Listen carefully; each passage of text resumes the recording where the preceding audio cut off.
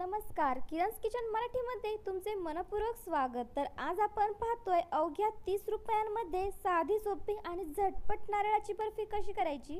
चला तर मग पाहूयात कृती. मी इथे सर्वप्रथम एक मोठ्या साईजचा नारळ घेतला. नारळ व्यवस्थित फोडून त्याची वरची करवंटी काढून घ्यायची आणि हा ब्राऊन असलेला भागही काढून घेतला आहे आणि नारळ स्वच्छ धुवून घेतला म्हणजे अगदी पांढरा शुभ्र होतो. आता या नारळाचे काप आपण मिक्सरच्या भांड्यात काढून घ्यायचेत आणि हे नारळ मिक्सरला बारीक करून घ्यायचं. मिक्सर थोडा चालू बंद करतच आपल्याला हे मिश्रण फिरवून घ्यायचं. कारण एकदमच जर चालू ठेवलं तर नारळातून दूध बा बाहेर येईल. तर तसं आपल्याला इतकं ओलसर नारळ अजिबात करायचं नाही आहे त्यासाठी मिक्सर चालू बंद केलं की तुम्ही ते पाहताय नारळ अगदी व्यवस्थित खवला गेला आहे छान बारीक कीस झाला आहे आणि अगदी कोरडाही आहे. तर अशाच पद्धतीने मी पूर्ण नारळाचे तुकडे मिक्सरमधून बारीक करून घेतलेत.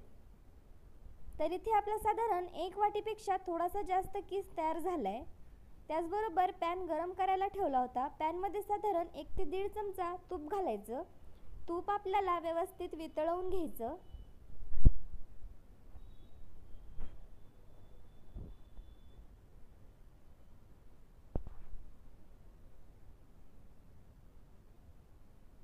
आता यात आपण खोललेला नारळ घालणार आहोत. इथे साधारण एक वाटी मी मोजून घेतली आहे आणि त्याचबरोबर थोडंसं दोन ते तीन टेबलस्पून वर असेल. तर एवढा आपला खोबरा किस तयार झाला आहे आता हा किस आपण तुपामध्ये व्यवस्थित परतवून घ्यायचा. साधारण चार ते पाच मिनिटे हा खीस व्यवस्थित परतून घ्यायचा. म्हणजे थोडासा कोरडा होतो आणि नारळातील दुधाचं प्रमाण थोडंसं कमी होतं. आता इथे खोबरा किस व्यवस्थित चार ते पाच मिनिटे परतून घेतला. यात मी घालतीये साधारण अर्धी वाटी साखर आणि त्याचबरोबर एक पाऊन वाटी दूध घालायचं.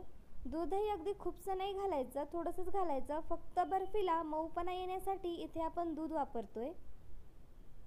आता पुन्हा एकदा साखर विरघळून घेईपर्यंत आणि दूध व्यवस्थित कोरडं होईपर्यंत हे मिश्रण आपल्याला असंच हलवून घ्यायचं. तुम्ही इथे पाहता मिश्रण थोडंसं चेंज झालं आहे साखरेमुळे थोडंसं पाणी सुटलं होतं आणि पुन्हा आता हे मिश्रण आटून यायला लागलं आहे तर आता पुन्हा चार ते पाच मिनिटे असंच परतवून घ्यायचं. मात्र व्यवस्थित हलवत राहायचं जेणेकरून आपला खोबरा किसचा पांढरा शुभ्र रंग नाहीसा होणार नाही. यात घालूयात वेलची पावडर. आणि पुन्हा एकदा व्यवस्थित मिक्स करून घेऊयात.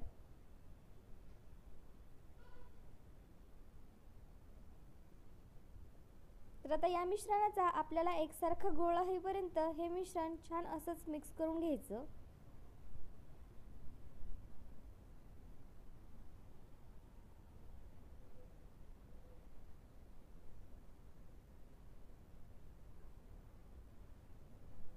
तर इथे आता हे मिश्रण व्यवस्थित झालंय. मिश्रणाचा व्यवस्थित गोळाही व्हायला लागलाय. आणि मिश्रणही व्यवस्थित कोरडसर दिसतंय.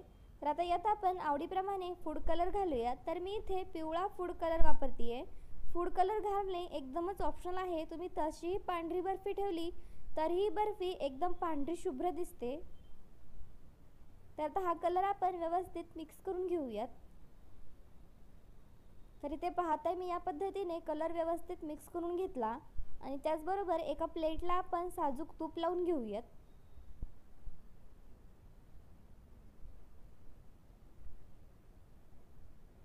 तर मी इथे या प्लेटला साजूक तूप लावून घेतलं जेणेकरून बर्फी खाली चिटकणार नाही.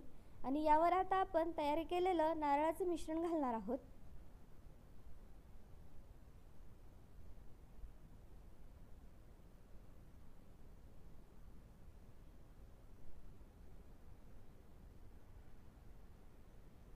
आणि असंच चमच्याच्या सहाय्याने किंवा वाटीच्या मागच्या बाजूने आपण हे मिश्रण व्यवस्थित पसरवून घ्यायचं.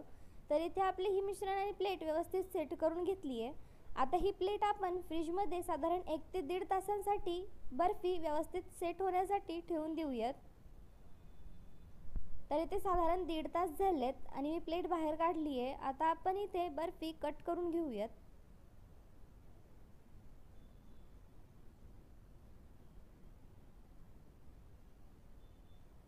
तर मी इथे बर्फीच्या चौकोनी वड्या सुरुवातीला कट करून घेणार आहे आणि मग नंतर पुन्हा मधून कट करायचं.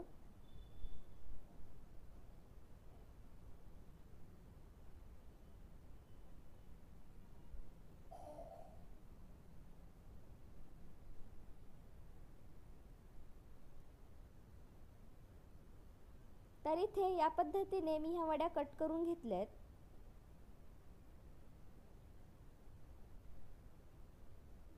आता एक वडी काढून दाखवतीये.